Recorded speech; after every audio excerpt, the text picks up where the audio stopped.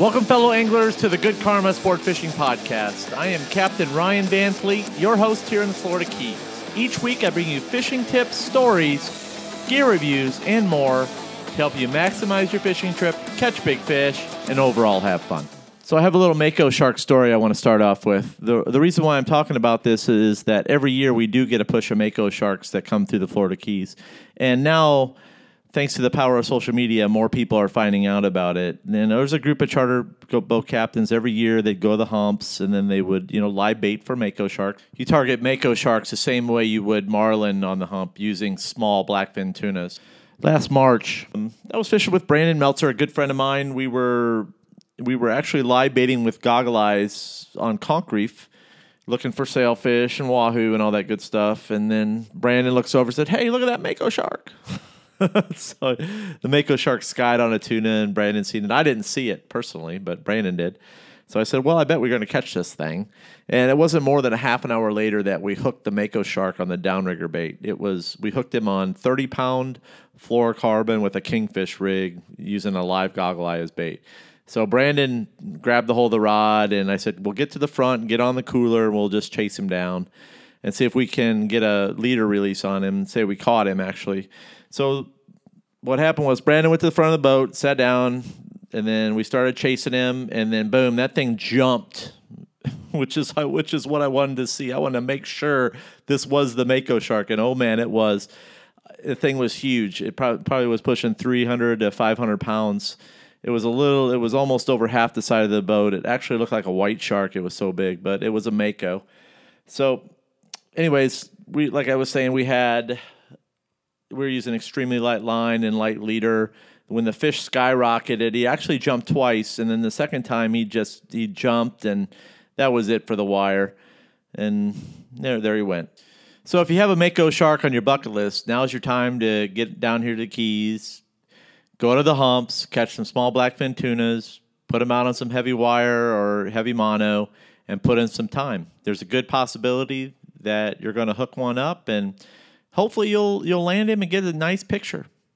First, I completed a ballyhoo rigging video for you guys. I show you exactly how I do it. I put it up on my website.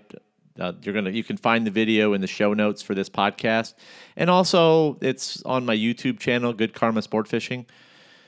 I'm I'm not really doing much with YouTube right now, so I just put the videos up there for reference so people can refer to them.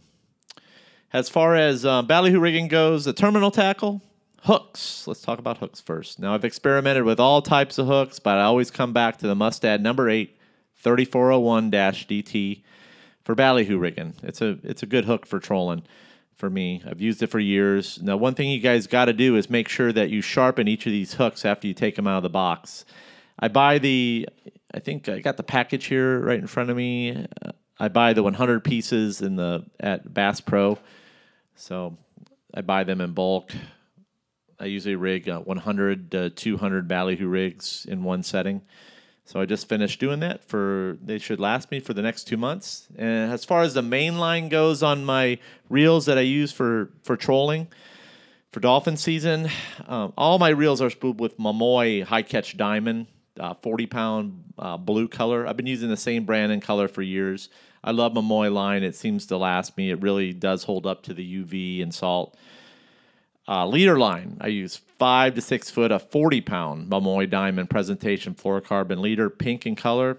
Don't ask me why. I've been using it for years. I use fluorocarbon mainly for the abrasion resistance and then the stealth.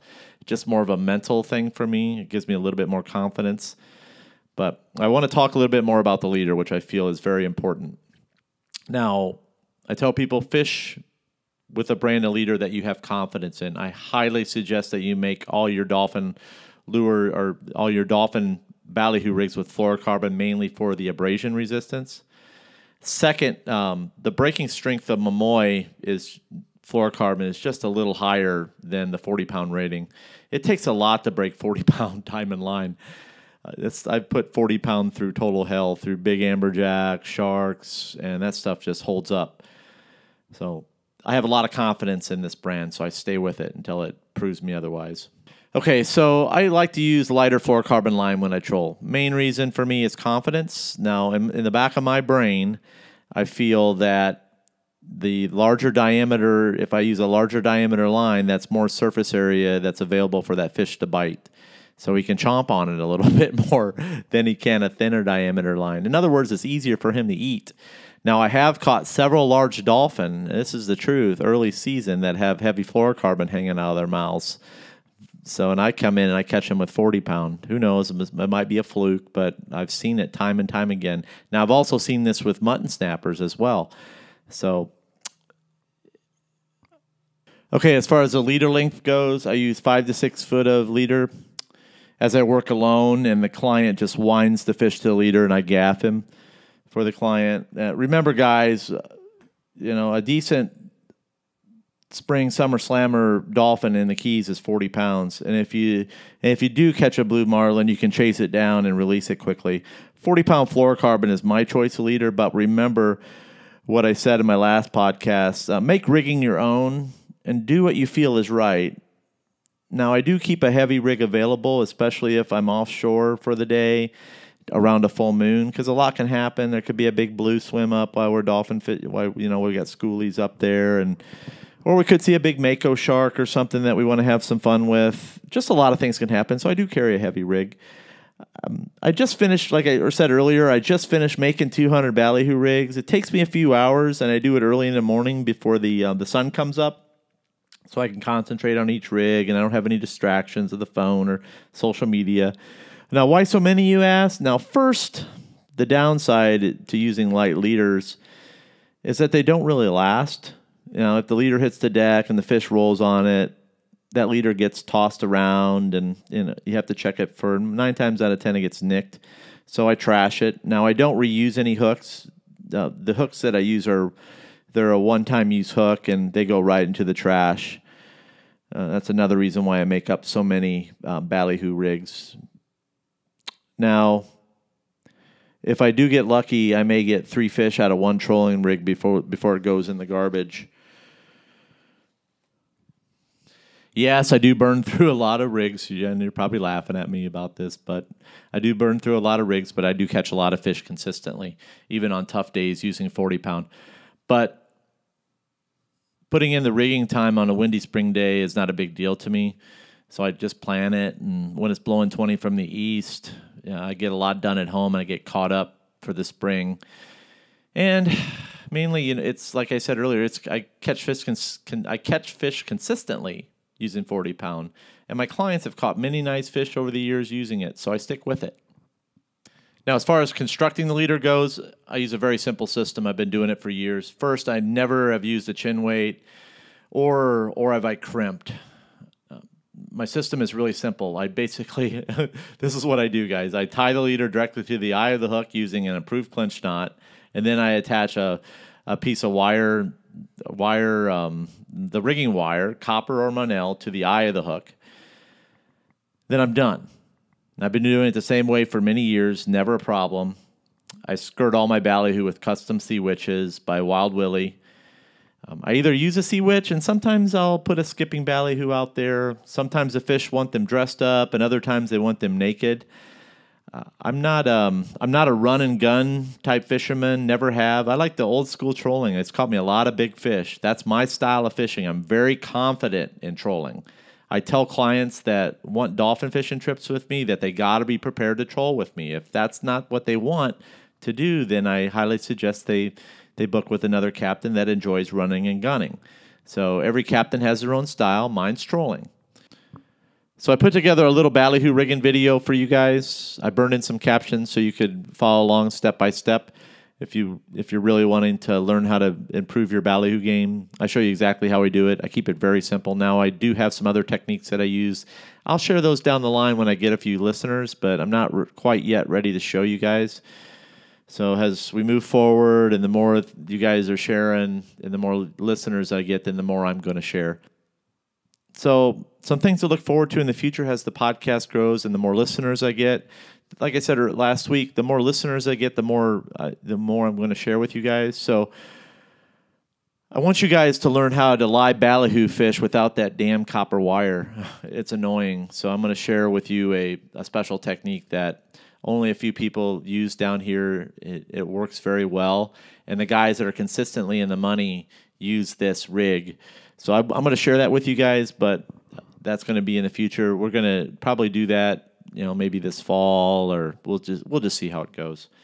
Also, I've got a simple live bait technique that I'm using for mutton snappers with pilchards. That's that's working really well.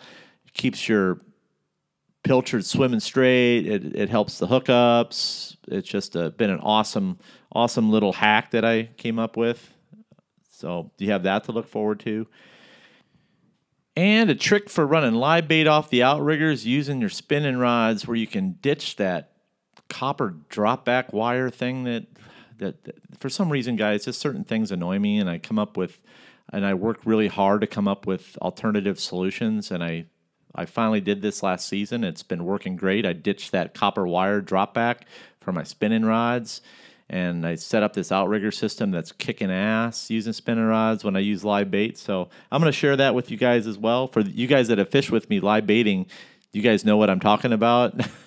so ah, no more wire dangling off my spinning rods and false releases because of the weeds pulling the live bait off. Um, how come nobody talks about this with that stuff? It's true. It, it happens a lot. It's really annoying. So, anyways, you guys got that to look forward to. Uh, like I said, the more listeners I get, the more tips I'm going to share. So I really appreciate the guys that are tuning each week, tuning in each week and sharing this podcast with their buddies. Lastly, guys, I really appreciate those that shared my podcast through their social media channels last week. So the more listeners that I get, the more I'm willing to share and help you get better. So I've got a lot of information, and that's what the Good Karma Sport Fishing podcast is all about is sharing information and helping each other get better. So that's all I got today, guys. Have a good one. Thank you for listening. If you have any feedback, comments, questions, or suggestions, I would like to hear from you. You can find me on Facebook at Good Karma Fishing Charters, Instagram at Good Karma Sport Fishing underscore FL underscore keys, or you can email me at goodkarmaryan at gmail.com. Please also share this podcast with a fellow angler and check out my website, goodkarmasportfishing.com, and sign up for my monthly newsletter. I aim to provide you with fishing tips and information so you can make the best out of your time fishing. Most important, just remember anytime you're fishing, it's all good.